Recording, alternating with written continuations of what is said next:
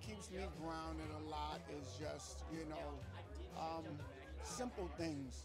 Riding my bike, going for a run, taking a walk, you know, looking around and seeing everything that's going on around me and appreciating that I'm alive, appreciating my health.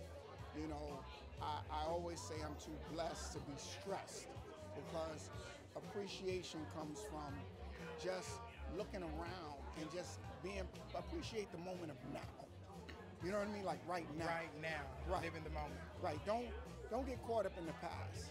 Don't Or think about about everything. next. Yeah. Right, Don't think about everything coming. Right now. And if you spend more time thinking about now, you will be more appreciative. Because some people didn't make it to now. Right.